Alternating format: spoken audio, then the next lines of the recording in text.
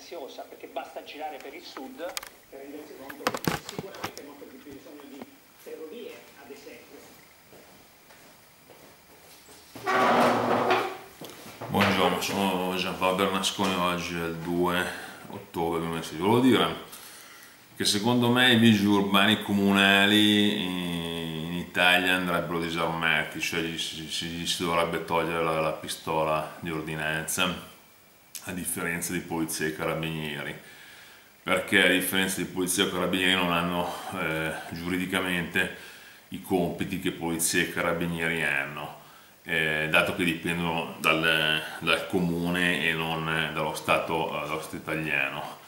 E mm, questa è una prima cosa. Una seconda cosa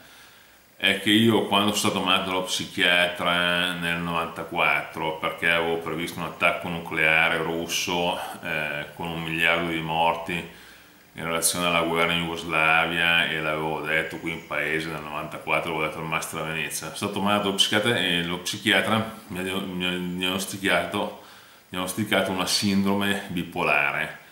e quindi mi davano una pastiglia al litio io non ho nessuna sindrome bipolare, solo che io ci ho creduto, cioè non lo sapevo. Il, il medico mi ha detto che avevo questa sindrome bipolare e ogni giorno prendevo una, una pastiglia di litio. E, mm, quindi ha fatto una, una diagnosi sbagliata per motivi politici. Questa storia è andata avanti per anni poi volevo dire che il, compito principale del politico, e fare il politico è un'attività estremamente, estremamente complessa, è quello di individuare le priorità, nel senso che bisogna capire quali sono le priorità per il sindaco nel comune, per, eh, per, eh, i, i, per chi è in provincia in provincia per chi è in regione in regione, per chi è a Roma a livello nazionale europeo e per chi è a Bruxelles a livello europeo e globale. Quindi il, il politico, prima cosa, come, come, come, come cosa eh, immediata, deve individuare una priorità. Quindi eh, se io, eh, io mi posso lamentare ad esempio della guerra in Siria, ma è chiaro che la guerra in Siria, tutto al più, se sono un europeo o un italiano, mi porta dei profughi, non mi porta una guerra in Europa se però succede una guerra in Jugoslavia, la priorità non è tanto quella solo dei profughi della, della guerra in Jugoslavia del 1995, ma che la guerra in Jugoslavia si allarghi in Europa come, sempre, come è sempre successo storicamente. Quindi quando io ho previsto un attacco nucleare russo nel 1994 era perché la priorità in relazione alla guerra in Jugoslavia è che la guerra in Jugoslavia del 1994 se non si allargasse l'Europa quindi io nel 1994 sono stato tutto sommato, ho fatto una buona analisi politica perché ho individuato una priorità.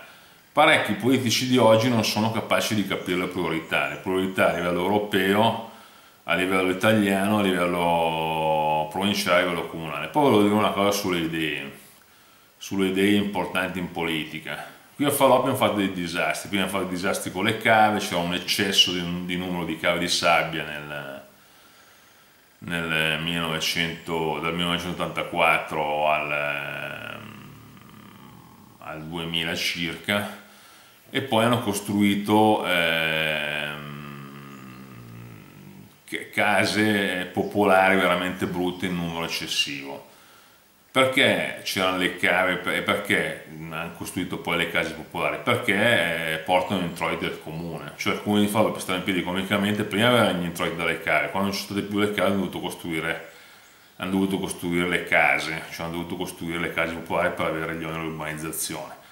Ora, se, un, se ci fosse stato un politico mm, con delle buone idee a Faloppio, avrebbe attirato delle aziende a Faloppio sul suolo di Faloppio, non avrebbe fatto andare via come la Leutenda perché se, se, se fossero state attirate delle buone aziende sul suolo di Faloppio, gli introiti al comune di Faloppio sarebbero de derivati dalle aziende e non dagli oneri urbanizzazione delle case popolari in eccesso, costruite in eccesso a Faloppio. Quindi questo è un esempio di come le idee siano importanti e di come giustamente ha detto Mervyn, Mervyn King, l'ex banchiere centrale inglese, che prioritariamente la crisi degli ultimi 30 anni, 20 anni è una crisi idee, anche se io non sono totalmente d'accordo con lui che dice che non è una crisi bancaria, non è una crisi manifatturiera, è anche una crisi bancaria e manifatturiera, però soprattutto è una crisi di idee. Grazie, arrivederci.